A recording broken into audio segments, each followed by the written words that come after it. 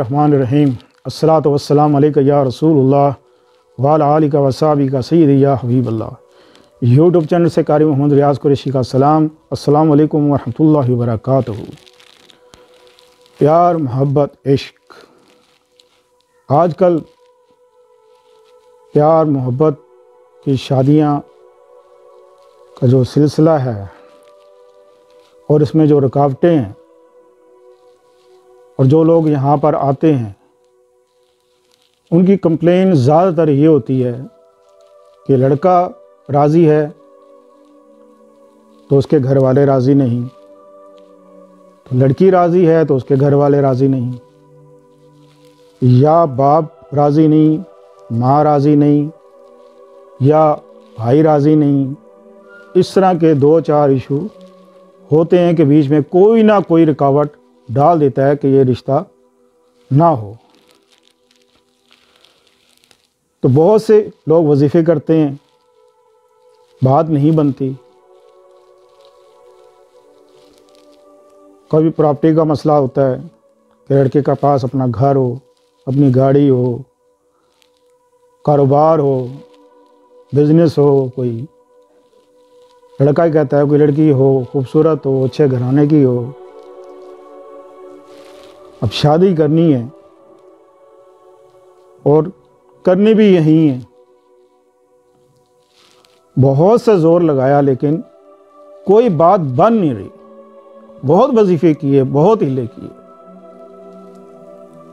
वजीफ़ा,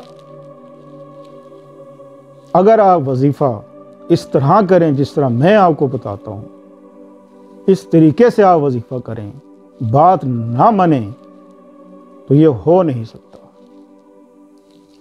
वजीफ़ा क्यों दिया जाता है? अल्लाह को राज़ी करने के लिए। जब अल्लाह राज़ी हो जाए तो फिर सब राज़ी हो जाते हैं। और जिसमें अल्लाह राज़ी ना हो तो वो रिश्ता कभी नहीं हो सकता कि आप हज़ार जतन कर लें। हज़ार जतन कर लें। जिसमें अल्लाह राज़ी ना हो। हम लोगों को राज़ी करते फिरते हैं। कि लोग राज़ी हो जाए, माँ राज़ी हो जाए, बाप राज़ी हो जाए। जब अल्लाह का हुक्म आ जाएगा तो सब राज़ी हो जाएँगे। अल्लाह ने तो यही कहना है कि हो जा तो वो हो जाती है। तो आज मोहब्बत, प्यार, इश्क का शादी के लिए बहुत ही मुजरब वजीफ़ा है ये। असर की नमाज़ के बाद आपने 313 बार अर रकीबो अल वदूदो अल रकीबो अल वदूदो अल रकीबो नज़र रखने वाला अल वदूदो मोहब्बत करने वाला। तो जिस वक्त आप ये तस्वीर आप पढ़ेंगे असर की नमाज़ के बाद तो आप की तवज्जो, आपकी सोच, आपका गुमान ये होना चाहिए कि अल्लाह की नज़र आपके ऊपर है और अल्लाह मोहब्बत से आपको भी देख रहा है और उसको भी देख रहा है जिससे आपने शादी करनी। अव्वल आखिर द्रोज शरीफ तीन सौ तेरह बार। बाद नमाज़ असर।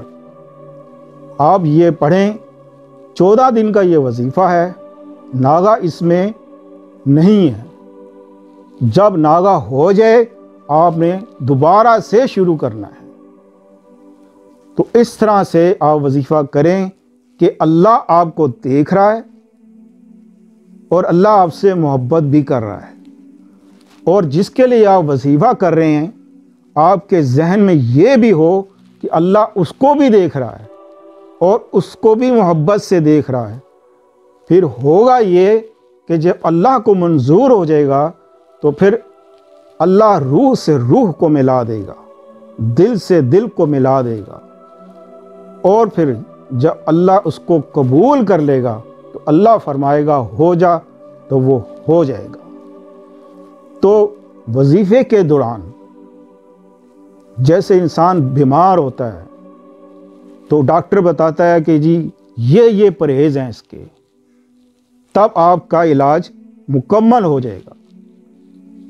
अगर बद परहेज़ी की तो बीमारी बढ़ सकती है। बजाय ठीक होने के बीमारी बढ़ सकती है और ये टाइम भी ज़्यादा लेगी।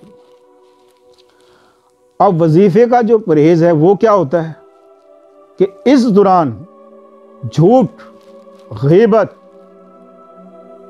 ये हर किस मत करें?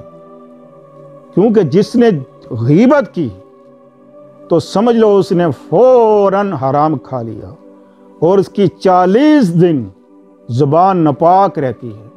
तो नापाक ज़बान से जब आप वजीफ़ा करेंगे तो अल्लाह के हाँ कैसे कबूल हो सकता है?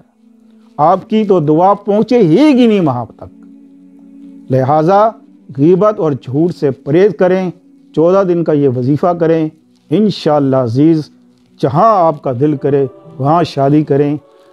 और ये जायज़ काम के लिए है, नाजायज़ काम के लिए किया तो अल्लाह की लानत आप पर पड़ेगी।